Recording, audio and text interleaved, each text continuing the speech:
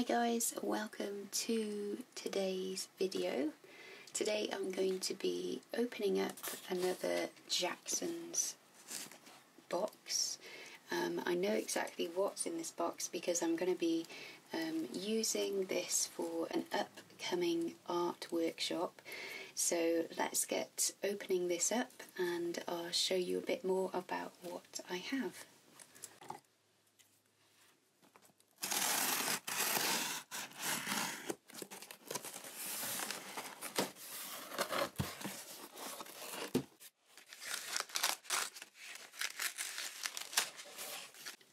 So, as you can see, I have actually um, bought now a bigger pad um, for my work that I'm going to try and do outside of my sketchbook. I know some of you have seen my um, A4 drawings which are on, on my wall and created from sketches in my sketchbook and I thought actually let's uh, get a bit braver and so I've ordered basically a A3 pad which hopefully I will start to work in soon. Anyway, that's not for now, but that's just in the order so you know what's there. So the important thing is in this little box here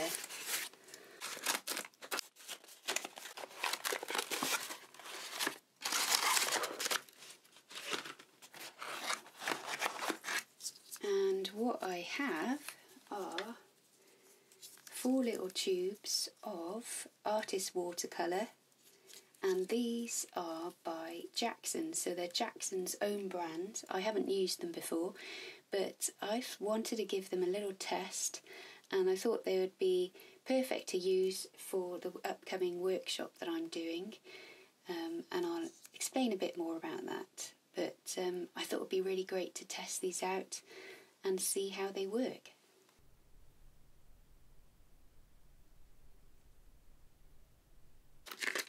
The other thing that I've got in the box isn't Caran d'Ache as it says. These are oil-based um, black pencils that I really wanted to try out because they apparently are waterproof and but they have a nice soft texture to them so I'm going to try these out as well and see how they work alongside the watercolours. So I'm really excited to try these out and see how they work. Um, the workshop that I'm going to be doing um, is going to be in a garden called Heligan's Garden and we're basically going to be spending a couple of hours looking at the garden so capturing different aspects of it and we're going to be sketching it. And I'm going to take a very small group although I think there's about 12 people in the group. They're each going to have a little um, palette of paint um, which will have the main colours will be the red, yellow and the blue. And I'm going to be using these just to top up because I've had these a number of, well I've had them a couple of years now. And so I just top them up every now and again but the main colours that we use are the red, yellow and the blue. Um, and you see also that I've got a Payne's Grey so I'm going to put that in as well. So they have one of those palettes. They get given a sketchbook and also then a brush, water brush pen, which will obviously be used with the paints. give them a fine liner and also um, an Ecoline brush pen and this is again is really handy for just adding some shading or depth to the picture that they draw. So today though I am going to test these out and swatch them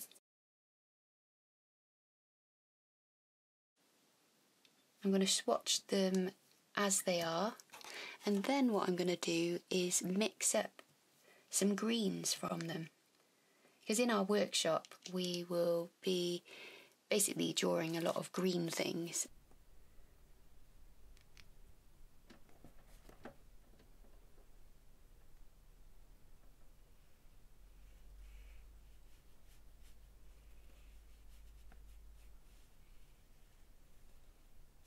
colour is actually Jackson's Red and I love how bright and vibrant it is.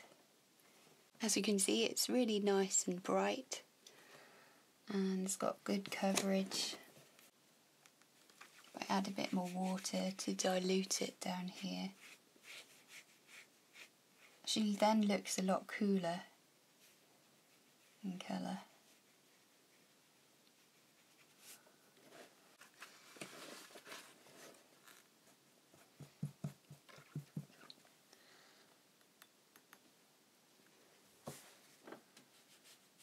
Let's try this yellow.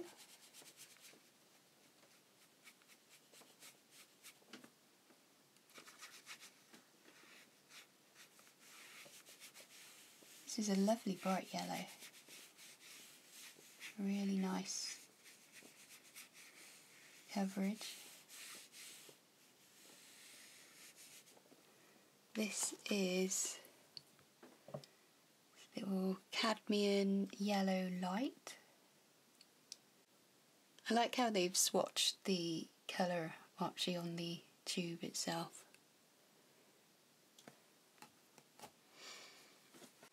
And then the, the blue that I chose was an ultramarine light.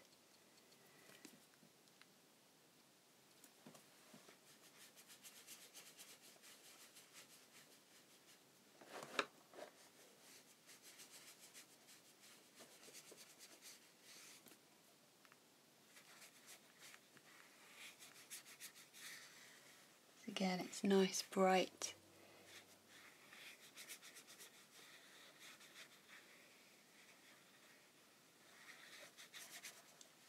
bright blue. Add a bit more water.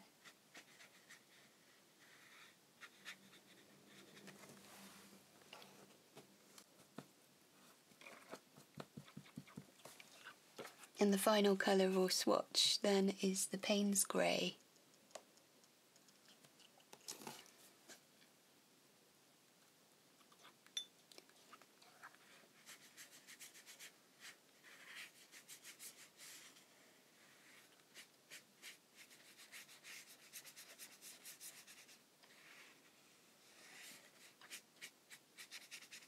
very bluey grey.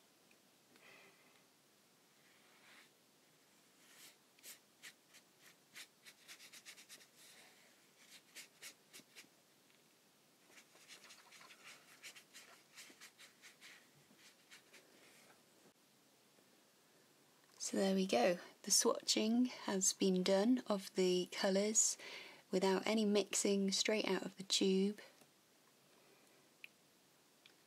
So far, so good.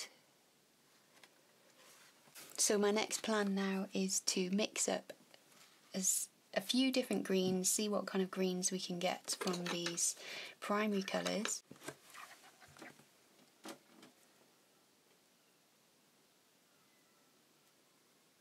So I'm going to start by just taking some of the yellow into another section. I'm just going to take a tiny bit of the blue. So we've got quite a um, bright base. We just take a little bit more.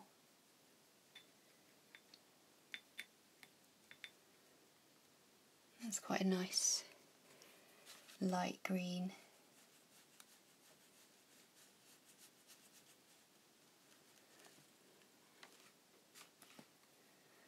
I'm going to take some of this light green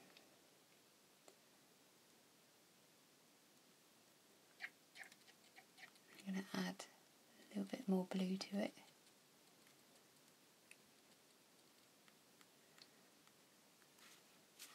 a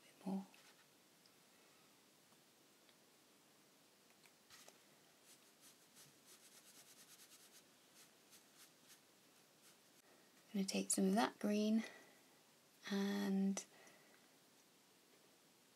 I'm going to add another bit of blue to it.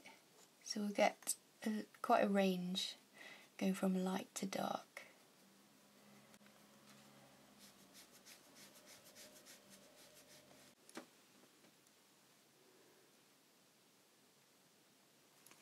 So that's just using the yellow and the blue. Okay, so I'm going to take now this light green that we mixed up. And this time I want to add just a teeny tiny bit of red to it.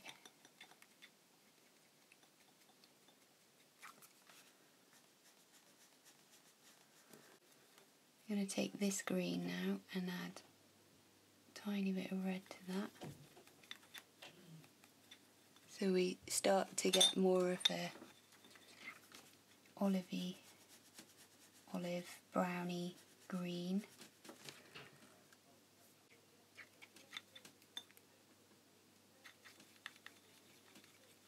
A bit more blue.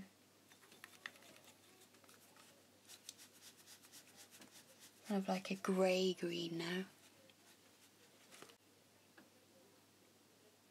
We also have these pencils and I would really like to use these in my sketchbook and combine with the watercolours and see how they work together. So as you can see I've had a little play with my primary colours and from just using the red, the blue and the yellow I've got this little green colour palette. So it's quite amazing how many greens you can get. And I've also got the Payne's Grey and I haven't mixed that in yet to the greens but I'll probably do that as I go along. Um, and that grey grey will will give me again some deeper greens. So it's quite amazing how many different greens you can get from just your three primary colours and that's one of the things I will be doing in my workshop at the start. We will be mixing some greens together and I think that'll be really nice and inspiring for the group that, that they will see that they don't they don't need to buy in greens they can just mix them themselves and you get a lot more satisfaction I think when you mix your greens together and you can control um, the shades as well. I'm now going to fill these pages with um, some green based sketches. I'm going to use um, some older sketchbook work so you can see here that um, I studied some flowers and plants, so I might bring some of those into my sketches. But I'm also going to use this sketchbook, which has um, my drawings I did at Heligan's Garden about two years ago. So it's really nice to actually have this reference because it means that I can draw from my sketches rather than just from photographs.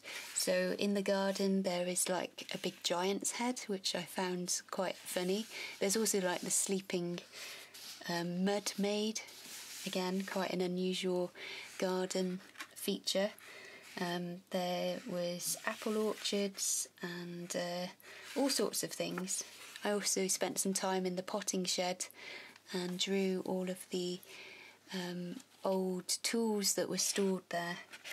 So I'm going to use that as well for my inspiration. Um, oh, and these were also drawn whilst I was at Heligan. So there was a beautiful wisteria uh, tree gnarly, very gnarly and kind of like overgrown. And it was really, really beautiful to see. And then you've got loads of um, pots and plants and some older buildings and trees. So, again, I'm going to use this as my inspiration to draw on for my sketches now. And this one actually was just a simple black and white drawing of all of the cactus cacti and succulent. So as you can see I've got lots of things to draw on and I'm going to um, take some time now to do that.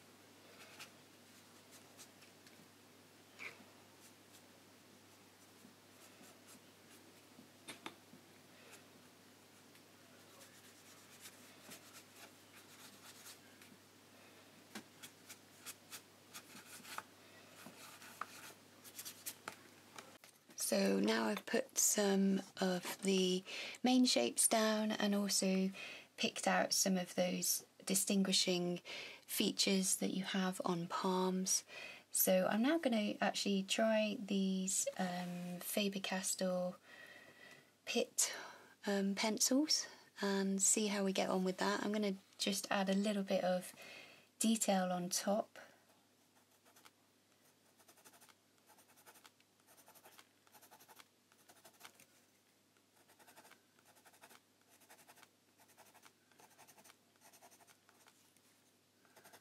really go on really well actually, really smooth.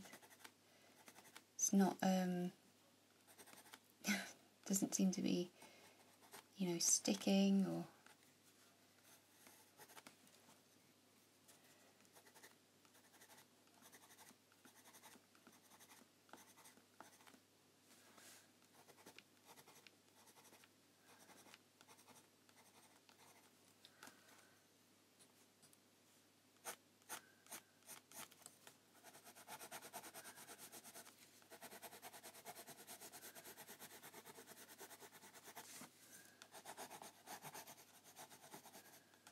yeah, it's not pulling at the page or buckling it. It's actually quite nice.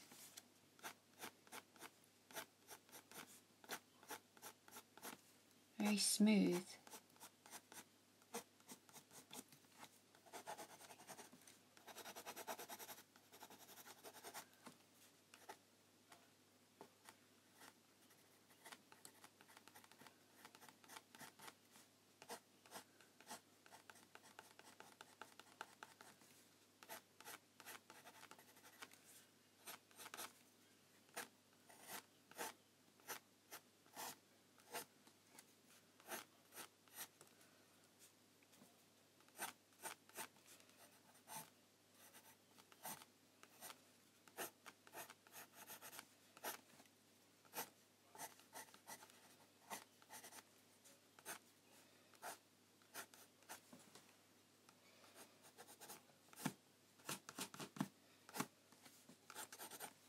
Yeah, these are really nice. I'm also going to just um, write with them. So yeah. I want to try also the reverse, so I'll try um, drawing with these and then adding the watercolour over the top to see how they they work. But let me um, just give you a bit more of a close-up of this.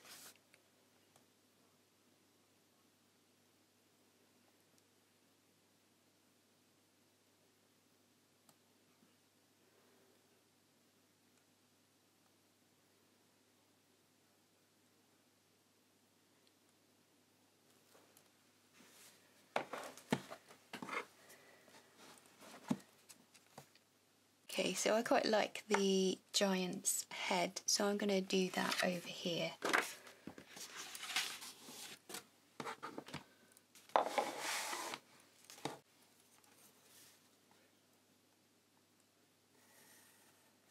I'm going to also draw a box for him to go into.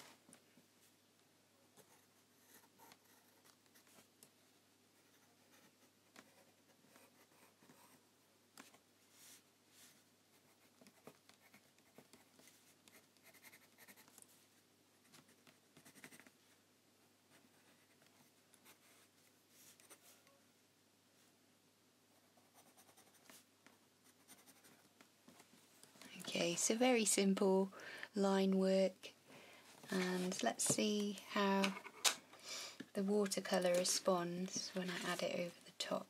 So let's do a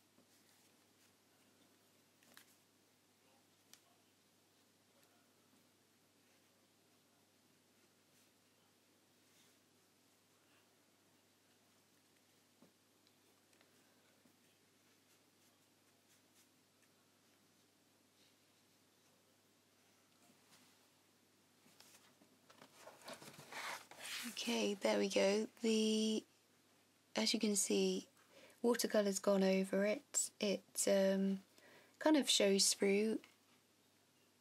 I think I probably would go back over the line, but actually it doesn't like, you know, um, mask it, does it? it? You can still see the line, which is good. A little bit lighter, but actually it does really well. It doesn't smudge and it doesn't um, blend away.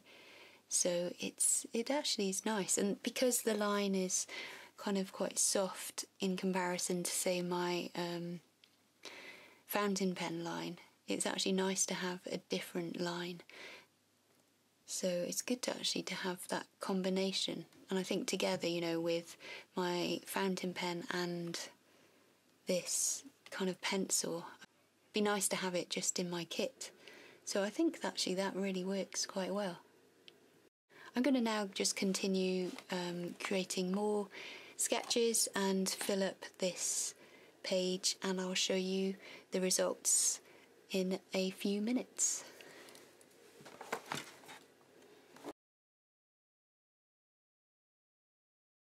So here we go, here's my finished um, sketchbook spread where I've just used the primary colours, mixing them to make a range of different greens, and you can see that I've also added um, so a few bit more terracotta colours and then also a little bit of purpley colours, but they're all made from just those three colours and then also my Payne's Grey. So it's uh, a lot of fun actually to just experiment and just use three colours rather than um, you know have a huge selection and that really does help actually especially if you're um, sketching quickly and you don't really want to waste a lot of time having to choose um, a whole load of colours to use. So there we have it. It's just a very quick and simple way to do a sketchbook spread and what's been really nice is actually to go back into my old sketchbooks and remind myself of what I um, saw and what I could draw. So I hope you just enjoyed that. It's just a few little tips that I teach in my workshops and um, will hopefully inspire you to continue sketching and trying out different things in your sketchbook. Thanks guys for watching and I'll speak to you again very soon.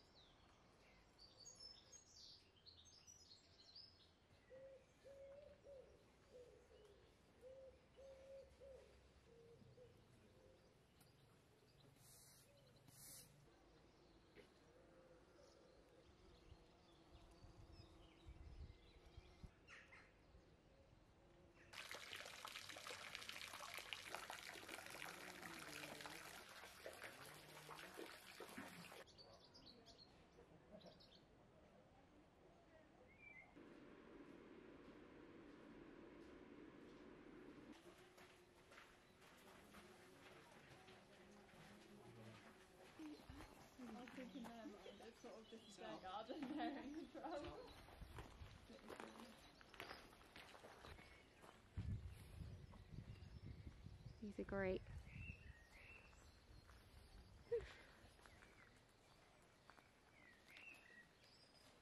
Brilliant.